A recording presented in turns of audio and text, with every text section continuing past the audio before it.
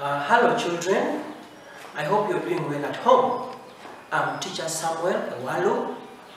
I'm your math teacher and I'm going to teach you P3 mathematics. Uh, last time in our very first lesson, we were looking at counting, counting, counting in thou, counting in thousands from from 2000 to 3000 last time in our first lesson we learned how to count from what? From 2000 to 3000 and i remember i gave you some work and i want us to begin from that work. In the activity i gave you I wanted you to complete these numbers. I wanted you to complete writing the, this. The there was a number here, and then I wanted you to write it in words. Okay. So I want us to make those corrections. I want us to make those corrections before we move to today's lesson. So I remember you, I left you with this number here, 2,500. So how do you write this number? In words. So this is going to be 2,000, 2,000, 2,500. Okay? I hope you got that. So if you got that, give yourself a nice tick. Okay? Then I also left you with a number. This one, 2,700. I want you to write it for me in words. So how did you write it? This is 2,000, 2,000, 7, 700. 700. So if you wrote it like that with correct spelling, you give yourself a tick. Then another number was 2,810. 2,810. How do you write it in words? So this is 2,000 2000 eight eight hundred. Eight hundred ten. Did you write it like that? Very good. If you wrote it like that you also give yourself a tick a correct tick. Then I, I also gave you to fill for me another number and it was 2,900. So how did you write it in, how did you write this number in words?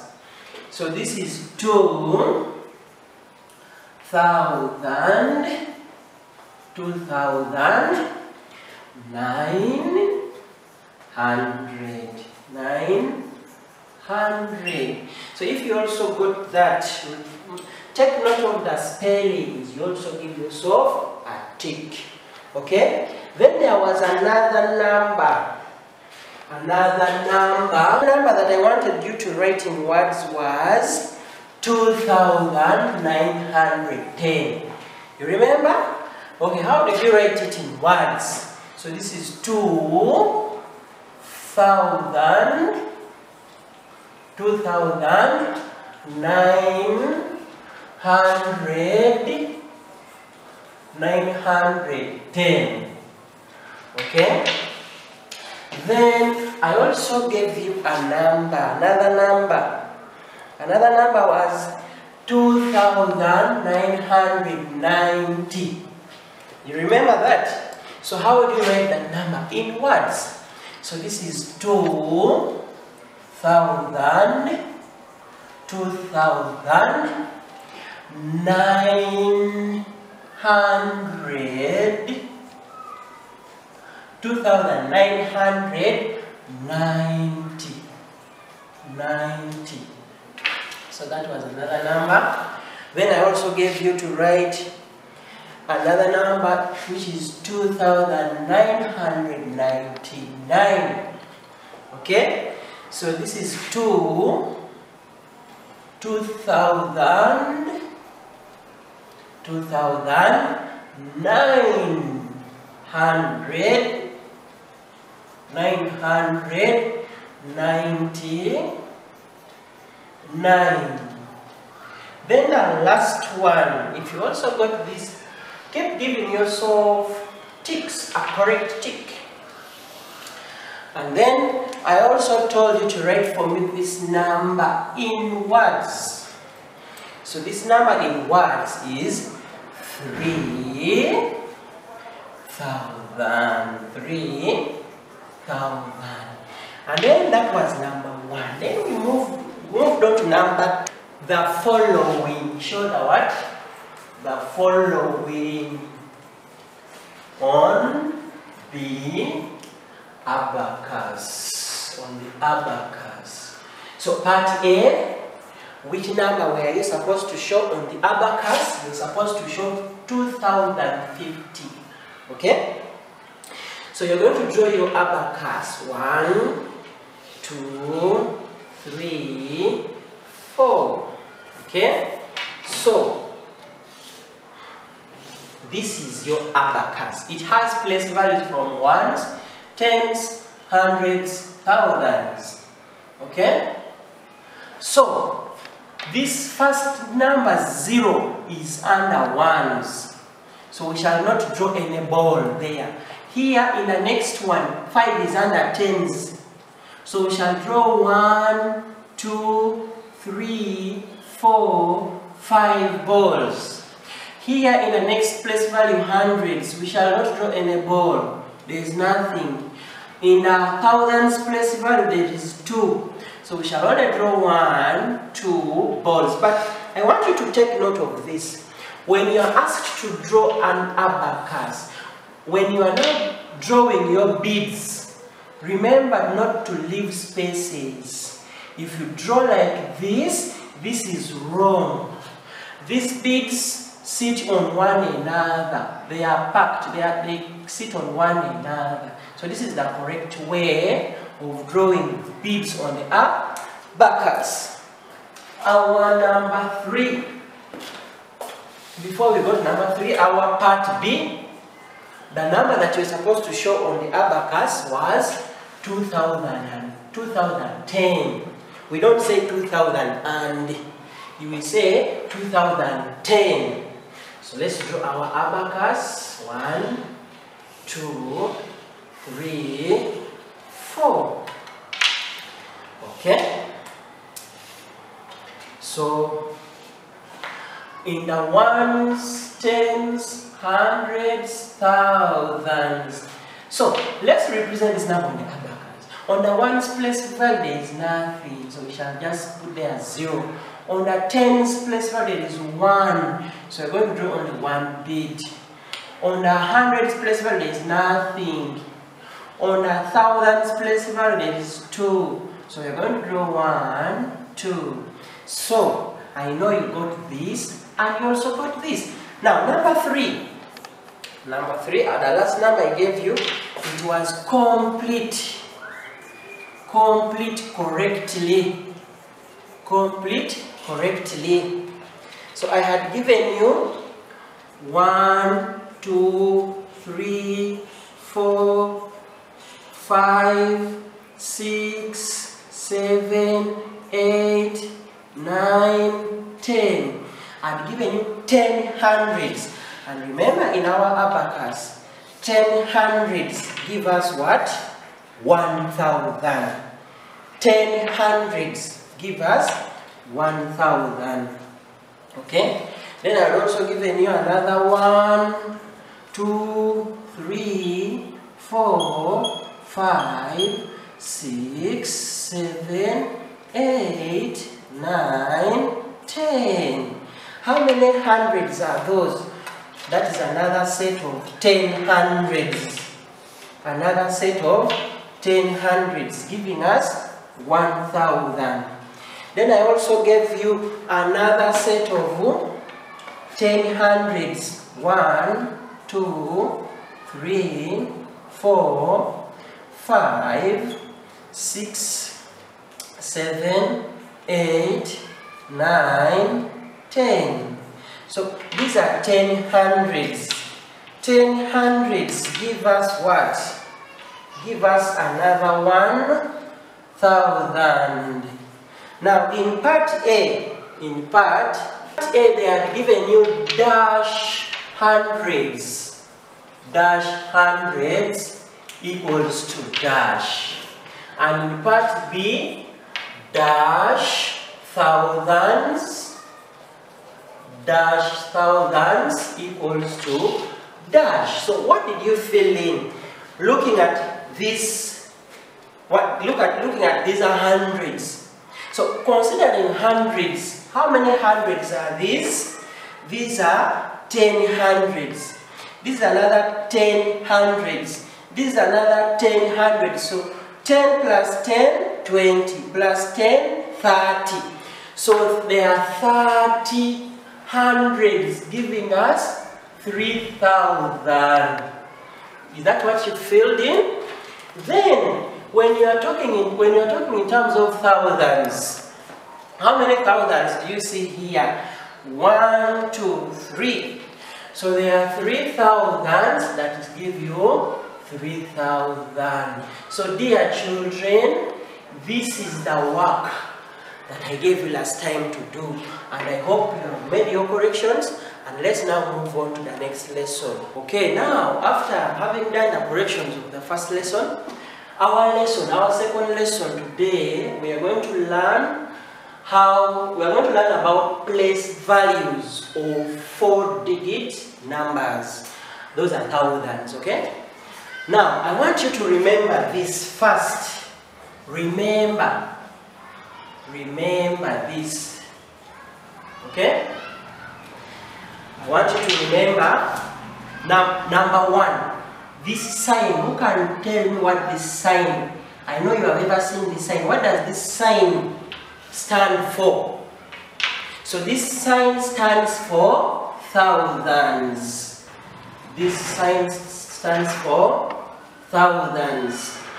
And this sign, H, capital H, what does it stand for? It stands for hundreds. It stands for hundreds. What about this one? T, capital T. Capital T stands for tens. It stands for tens. And then for O. Capital O stands for ones. Capital O stands for ones. Okay? Okay. Now, I want you to remember this as well that what are place values? Let's first define what place values are. So place values, place values are the names, are the names of digits arranged, arranged in order, in order of, in order of ones, tens, hundreds,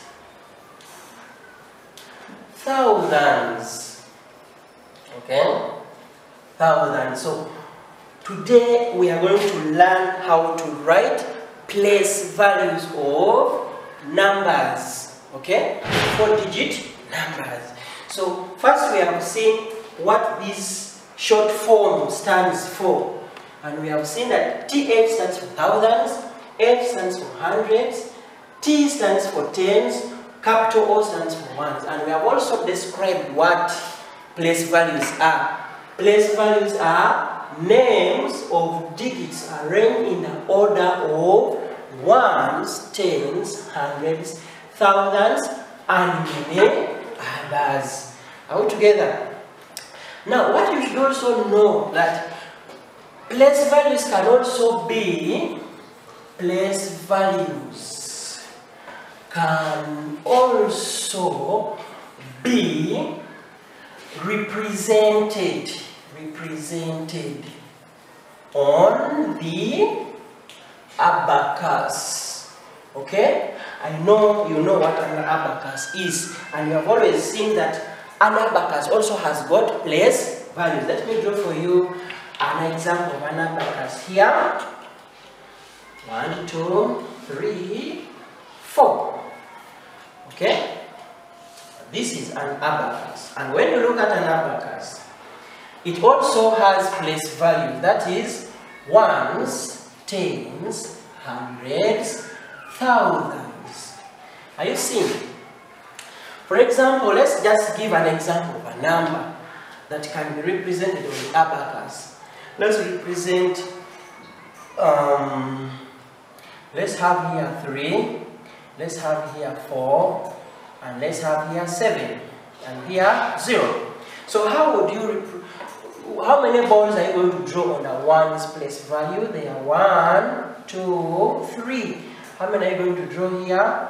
1, 2, 3, 4. Here you will not draw anything. You will not draw any beads, okay?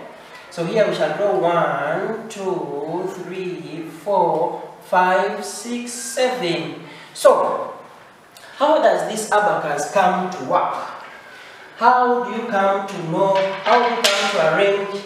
Remember in our first lesson, we learned about the 10 ones giving us 110. Let's demonstrate it here on our abacus. Okay, children, you remember in our first lesson, we counted from 2000 to 3000 using the abacus. And also, when you're counting using the abacus, we count starting from ones. You can see the abacus here is named from ones, tens, hundreds, thousands, just as the one we have drawn on a chalkboard, okay? Now, I want you to remember that 10 ones, when you have 10 beads of under ones, all these tens are counted as 110, okay? So if you have your one, two, three, four, five, six, seven, eight, nine, ten. So these are ten ones. These ten ones, the whole of these ten ones is represented as only one ten. In the first lesson we learned about it. So all these ten ones become one ten. So then you remove all this, okay? You remove all this. So you see, now we have nothing in the ones place value because these 10, 10 ones have become one in when you regroup them in, a, in the next place value of tens. So 10 ones give us 110. Then again, if you have an 10, another set of 10 ones, 1, 2, 3, 4, 5, six, seven, eight, nine, ten. So these are ten tens. Ten tens in the groups of hundreds, in the next place value of hundreds. These ten tens is 100. So all these tens become 100 on the next place value. So here we shall now have nothing here left. Okay? We shall have what? Nothing left here.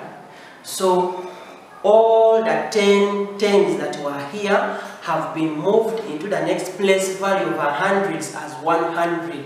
So this is 1, there is 0 here, there is 0 here. So 10, 10 tens give us 100. Then again, if you have 10 hundreds, let's have another set of 10 hundreds. 1, 2, 3, four, five, six, seven, eight, nine, ten. You see? So ten hundreds are the ones that give us 1,000. So when you remove all these tens and transfer, when you want to transfer them on a, on the thousands place value, you transfer them as one. Okay? So that is now what? That is 1000. So you remove all these tens.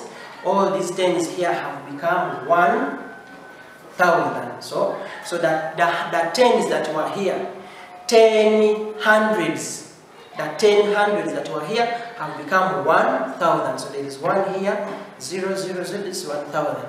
So we have seen that place values also work in an abacus. Now let's go back to our lesson. Let's now write, I want us to write in, uh, the place values, okay? Write,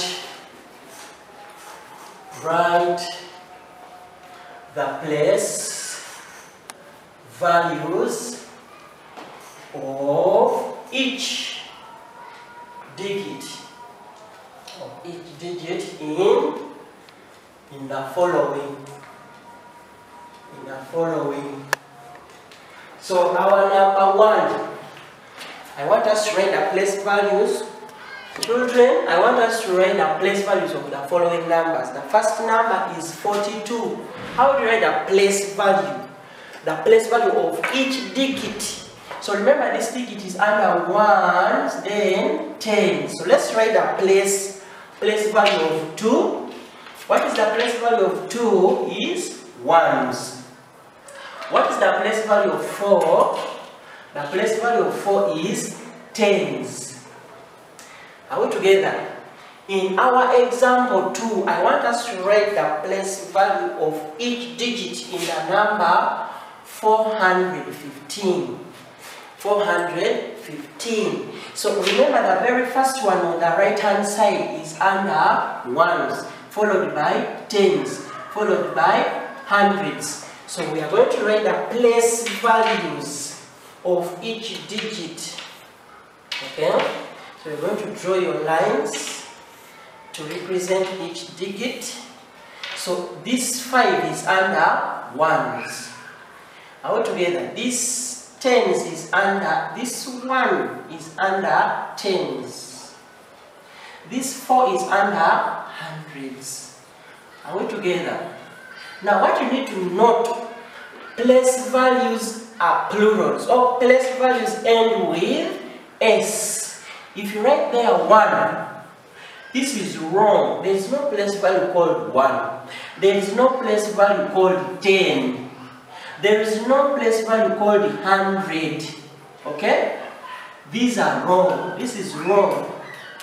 Place values end with S. Let's look at the, the, the third example. And our third example is 1273. I want us to write the place value of each digit in this number 1273. So we say the very first one on the right hand side, this, this digit is under ones, tens, hundreds, thousands. Okay? So this three is under ones. This seven is under tens. This two is under uh, hundreds and this one is under is under thousand. So let's write them now. So this is ones, tens, hundreds, thousands, thou, thousands. Are we together? So Dear children, I want to give you an activity on how to write place values digits. Okay?